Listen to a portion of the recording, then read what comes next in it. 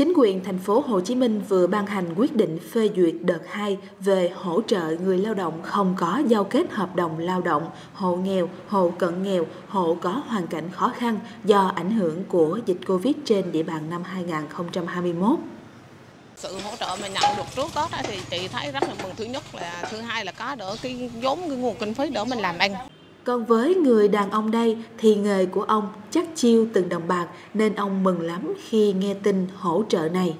Nói chung á, thì so với những người ta nghèo thì đồng tiền nó so nó cũng lớn. Mình đi buôn bán thì kiếm từ đồng từ cắt, đó lượm bà cắt. Còn giờ nghe đó có hỗ trợ chiều rưỡi mình cũng rất là mừng. Cũng mừng nếu nhận được khoản tiền hỗ trợ, nhưng bà bán xôi này nói rằng bà sẽ không đi tìm hiểu thủ tục chừng nào nhà nước cho thì lấy không có hỏi. Chừng nào có thì, thì mình mừng thôi chứ không có thôi. Chứ hỏi kỳ lắm. Tin tức cho biết sẽ căn cứ danh sách hộ nghèo, hộ cận nghèo đã được phê duyệt, bố trí kinh phí về chính quyền phường, xã, thị trấn để chi trả hỗ trợ cho các hộ dân trong thời gian tới.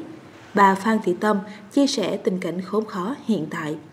Đi cả ngày không được 100 ngàn luôn à ví dụ như buổi sáng mình đi tới trưa khi ví dụ giờ thứ nhất là phơi liệu bây giờ đương hạ đương xuống rồi kinh tế bây giờ làm ăn khó khăn người ta ví dụ hồi kia kinh tế làm ăn nó, nó, nó được thì người ta thải phế liệu đi người ta bán. Còn giờ khó ăn thì người ta tận dụng lại hết. Mình đi bây giờ có đi làm nhưng không có thu nhập.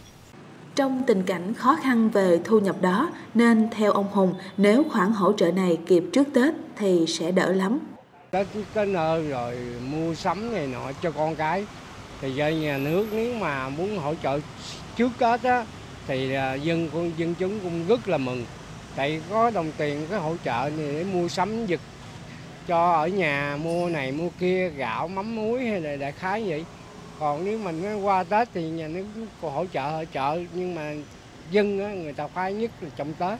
Tính đến hiện tại thì phía chính quyền vẫn chưa cụ thể thời gian nào sẽ tiếp tục hỗ trợ bằng tiền mặt cho người lao động nghèo bị ảnh hưởng của dịch Covid.